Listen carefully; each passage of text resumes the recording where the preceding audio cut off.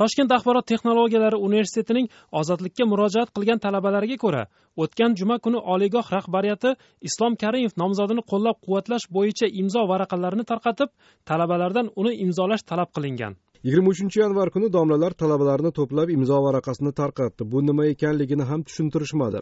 Shu qog'ozga o'zingiz haqidagi barcha ma'lumotlarni yozib qo'l qo'yinglar dedi. Prezidentlikka nomzodlikka ruxsat etilgan amaldagi prezident islom karimovni qo'llayman degan mazmunda yozilgan gap bor edi. Hech kimdan rozimisan ham deb so'ralmadi. Dedi toshkent axborot texnologiyalari universitetining ismini ochiqlamayotganimiz talabasi.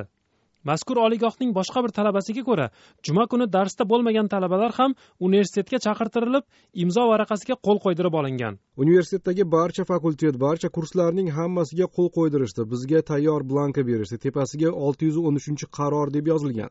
O'zimizning ism familiya pasport данныйlarini yozib qo'l qo'ydik. Islom karimov nomzodiga roziman degan yozuv bor. Boshqa variantlar yo'q edi. Buni juda operativ tarzda qilishdi.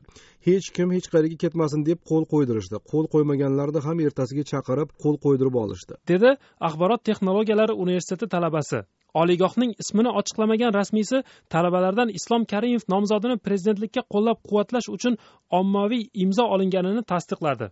Barcha talabalardan qo'l qo'ydirib oldik jadval berishdi hammasini bajardik. Islom abdug'aniyevich nomzodini prezidentlikka qo'yilishini qo'llashga ovoz to'plash kerakku. Shuning uchun talabalar islom abdug'aniyevichni ro'yxatdan o'tish uchun nomzodini qo'yishga roziman deb qo'l qo'yishdi. Hamma talabalar qo'yishdi. Yuqoridan berilgan bu topshiriqni to'la bajardik. Dedi toshkent axborot texnologiyalari universitetining ismini ochiqlamayotganimiz rasmiysi. O'zbekiston respublikasi prezidenti saylovi to'g'risidagi qonunning yigirma to'rtinchi moddasiga ko'ra saylovchilar imzosini to'plash ish xizmat o'qish yashash joyida saylovoldi tadbirlarida amalga oshirilishi mumkin. Lekin qonunning ushbu moddasida imzo to'playotgan shaxs tomonidan saylovchilarni majbur qilish va ularni pora evaziga o'ziga og'dirib olishning har qanday shakli qonunda belgilangan javobgarlikka sabab bo'ladi deyilgan. Ozodlik toshkent axborot texnologiyalari universitetidagi majburiy imzo olish holati bo'yicha islom karimov nomzodini prezidentlikka ilgari surgan liberal demokratik partiyasidan izoh olishga urindi. Ozodlik muxbirining yigirma oltinchi yanvar kuni bu boradagi urinishlari mutlaqo besamar bo'ldi. O'zli deb bu holat yuzasidan hech qanday izoh bermadi. Prezidentlikka nomzodlar tomonidan majburiy imzo to'plash holati borasida ozodlikka boshqa faktlar ma'lum emas.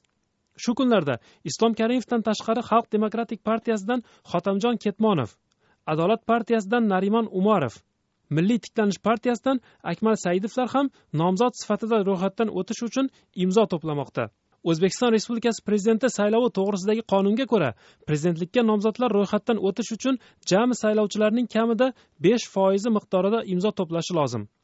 Rasmiy ma'lumotga ko'ra o'zbekistonda yigirma million sakkiz yuz to'qson besh ming besh yuz yetmish ikki nafar saylovchi bo'lib prezidentlikka to'rt nomzodning har biri bir milliondan ziyod imzo to'plasagina nomzod sifatida ro'yxatdan o'tishi mumkin. Prezidentlikka nomzodlar ko'rsatish saylovga oltmish besh kun qolganida boshlanadi va qirq besh kun qolganida tugaydi. Prezident saylovi joriy yilning yigirma to'qqizinchi martiga belgilangan bo'lib nomzodlarni ro'yxatga olish esa saylovga o'ttiz besh kun qolganida tugallanadi.